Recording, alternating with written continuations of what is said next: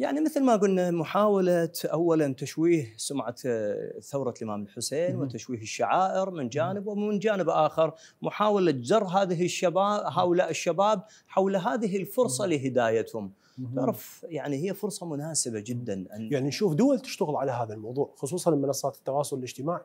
أي نعم لأن هو بالنتيجة هو يخشى من كربلاء لأنه كربلاء هددت كربلاء أسقطت أسقطت حكومة كانت قوية جدا. آه، بعض ال- الباحثين الكبار يقول أنه هذه الثورات التي خرجت. وهي تنادي يا لثارات الحسين سلام الله عليه ما هي إلا ارتداد لثورة الإمام. الحسين ولذلك إلى الآن الذي يخرج قبل فترات قليلة لا زالت شبابنا أيام قتالهم مع داعش كان حينما يقاتلون يصيحون لبيك يا حسين بالنتيجة هذا هذه جذوة الحسين. هذا الرمز الذي تحول في قلوبنا دائما هم. اراد هم يريدون أن يميعون محاولة تمييع. هذا الرمز نعم. الرمز والثابت ولذلك لاحظت مثلا قبل سنتين ثلاثة.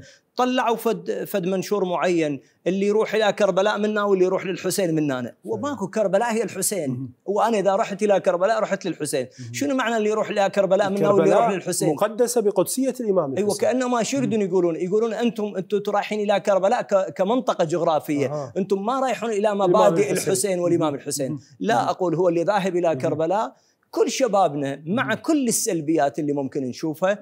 لكن خلوهم ذول متجهين هاي فرصة لهدايتهم فرصة. لصلاحهم فرصة أيها أفضل أنا أجيب شاب اخليه بالشارع يمشي في أماكن منحرفة في أماكن مو زينة لو يقعد في مجلس الحسين سلام الله عليه